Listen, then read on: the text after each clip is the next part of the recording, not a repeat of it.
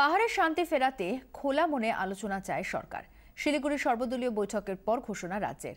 যদিও সরকারের আর্জি পত্রপাঠ খারিজ করেছে মোর্চা।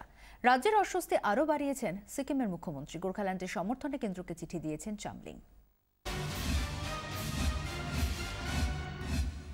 লাঠি, রক্ত, আগুন লাগাতার বন্ধ, অশান্ত পাহাড়।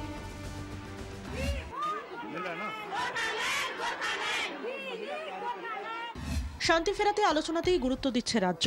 শিলিগুড়িতে সবকটি দলকে এক টেবিলে বসানোর চেষ্টায় ডাক দেওয়া হয়েছিল সর্বদলের।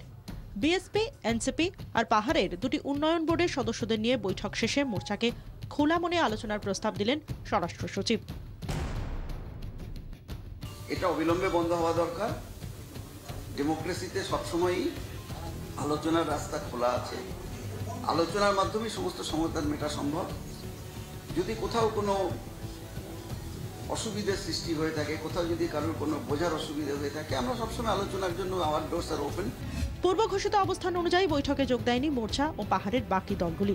আসেনি সমতলের তিন বিরোধী বাম কংগ্রেস বিজেপি। সরকারের অস্বস্তি বাড়িয়েছে উন্নয়ন বোর্ডগুলিও। পনেরোটির মধ্যে বৈঠকে ছিলেন শুধু কামি ও মাইনরিটি বোর্ডের দুই সদস্য। কেউ কেউ আসেননি সেটা নিশ্চয়ই তাদের ব্যক্তিগত ব্যাপার। তবে আমরা খোঁজ খবর করব কিন্তু তার জন্য আমাদের হতাশা হওয়ার কোনো কারণ নেই। আমরা যথেষ্ট সন্তুষ্ট আজকের এই মিটিং হওয়াতে। পরিস্থিতি আরও জটিল করেছেন সিকিমের মুখ্যমন্ত্রী। গোর্খাল্যান্ডের দাবির প্রতি সমর্থন জানিয়ে কেন্দ্রকে চিঠি দিয়েছেন পবন চামলিং। পড়শি রাজ্যের মুখ্যমন্ত্রীর পদক্ষেপ যে সরকার ভালো চোখে দেখছে না তা স্পষ্ট করেছেন গৌতম দেব। Unfortunate uh, এবং uncall for uh, um, step being taken by Mr. Pamon Changling আর অস্বস্তির মধ্যে রাজ্যের চিন্তা বাড়িয়ে গুরুংরা জানিয়ে দিয়েছেন রাজ্যের সঙ্গে কোনো আলোচনার প্রশ্নই নেই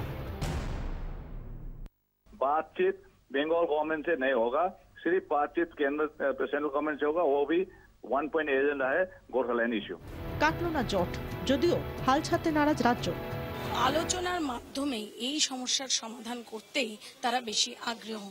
এবং সেটা স্পষ্ট হলো আজকের এই বৈঠকে। চব্বিশ ঘণ্টার জন্য ক্যামেরায় অরিন ও বাচ্চুর সঙ্গে কমলিকা সেনগুপ্ত, শিলিগুড়ি।